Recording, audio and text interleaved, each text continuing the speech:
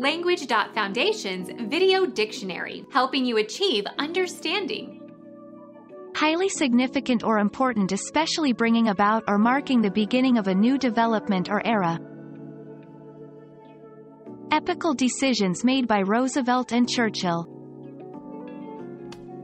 Epoch making. Become our student and get access to effective and free educational materials. Subscribe to our channel to become a part of our growing community and to learn English effectively.